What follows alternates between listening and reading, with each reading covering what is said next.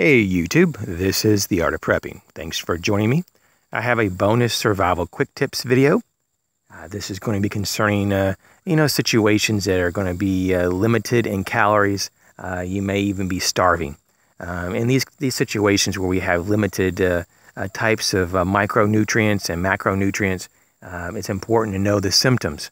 today we're going to be focusing though just specifically on complete proteins having all the amino acids, to, all your essential amino acids in particular, uh, to get all your protein needs.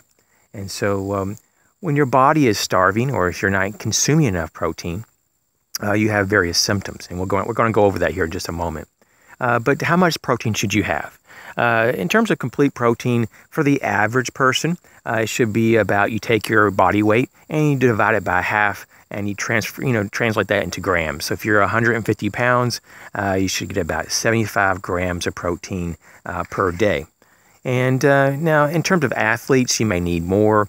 Typically, the upper end for the average body um, is going to be able to use up to maybe one gram per pound. Uh, but that's someone that's typically a bodybuilder or an extreme athlete or works in a type of field, maybe construction that is very physical and their body is really broken down every day, and they need a lot of things to repair their muscles uh, as they sleep. So um, the typical rule of thumb is about uh, half of your body weight converted over to grams. So uh, what are the symptoms of not getting enough protein in your diet?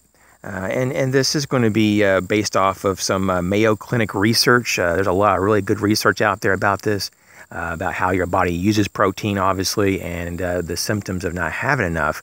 Um, but just remember, though, uh, you know, when we're in a survival situation, when we're actually uh, reducing our caloric intake and maybe food in general, uh, these are some things that you want to watch out for so you can kind of see the telltale signs if you're becoming uh, protein deficient, among other types of deficiencies. So, the first thing you would say that um, when you're protein deficient is a, a sluggish metabolism. Uh, you just don't feel like uh, you're burning, you know, the, the calories like you normally. Uh, therefore, you're not getting a lot of energy. Uh, the next thing is that you're having trouble losing weight. And of course, if you have a lot of food and you're just not eating things that have protein, uh, then you could have a, a, more difficulty losing the weight. Um, now, in terms of, um, once again, you're not in a survival situation per se, but uh, you're having trouble building muscle mass. Uh, you'll definitely see, though, in a survival situation, if you're not getting enough protein, uh, your muscles don't seem so robust, uh, and they don't get to they don't get repaired when, when you're resting as you would during a, a non-survival situation. Uh, here we go. This is definitely something you would notice when in a survival situation. Low energy and fatigue. Uh, you're definitely going to have uh, a, a, lot more difficulty actually accessing your energy reserves. Poor concentration and trouble learning. So uh, focusing and stuff is going to be difficult with low protein. moodiness and mood swings. Uh, that's a big one there. You know, a lot of people contribute that to just uh, low blood sugar in general. Uh, but you also have to remember protein's another uh, another source of that problem if you have it too low in your diet. Uh, muscle and bone and joint pain. Once again, muscle, bone, and joint pain. Uh, that's something that people don't talk about much. So um, you know, if you get achiness, pain that you normally don't get, and, you, and the only thing that's changed is your diet uh, you definitely want to look at, you know, how much protein you're getting. Now, this is interesting too, though, and this kind of goes where we're talking about the moodiness sometimes, is the blood sugar changes when you have uh, not enough protein.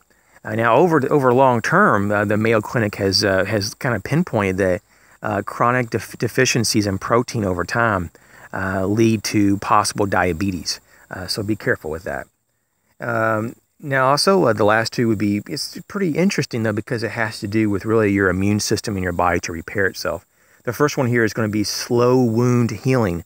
So, if you get injured, uh, if you don't have enough protein, uh, and just like a lot of things, you know, your body needs uh, the actual building blocks, the basic uh, building blocks of repair, uh, your body isn't going to be able to repair because it doesn't have those basic building blocks to pull from. And the last one is going to be low immunity your immune system is going to be compromised. You're more apt to get sick. So those are just some uh, some symptoms um, for low protein that could help you, uh, especially in a survival situation, to be aware of. If you have these symptoms, you may want to start focusing a little bit more on getting some protein sources. As always, thanks for all your support, and I'll catch you soon.